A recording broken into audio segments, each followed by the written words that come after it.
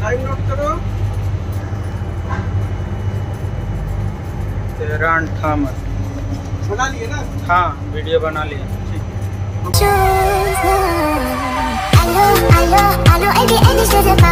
है